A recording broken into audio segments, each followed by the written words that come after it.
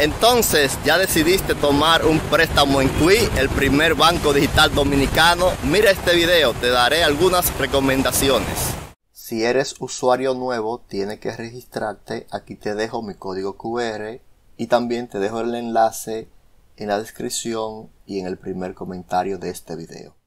Una vez registrado en la aplicación, busca en la parte inferior de la pantalla el anuncio donde te ofrecen los préstamos.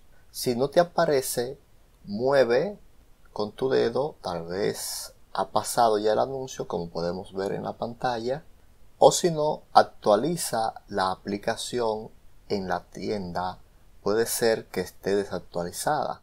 Luego de seleccionar esa opción, nos aparece otra pantalla con anuncios también e informaciones y seleccionamos solicitar. Nos aparecerá otra pantalla para confirmar los datos que entramos cuando nos registramos. Por ejemplo, la situación laboral actual, nombre de la empresa, tus ingresos, que pueden ser lo mismo y simplemente presionamos sí y luego continuar.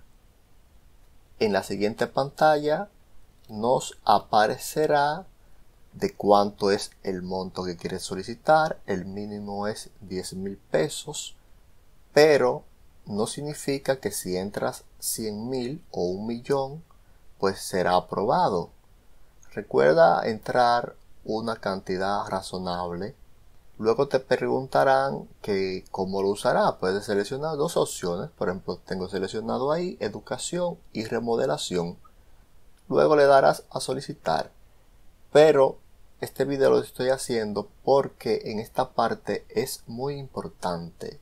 Debes de pensar bien antes cuál monto vas a solicitar porque una vez solicitado pues aunque canceles no te aparecerá en la aplicación la opción de tomar un préstamo hasta que la computadora decida volver a mostrártela. Te aparecerán unas ventanas para que veas la tasa de interés, el tiempo a pagar, etc. Gracias por el apoyo, por seguirse suscribiendo a mi canal. Se despide Luis de ustedes. Hasta la próxima.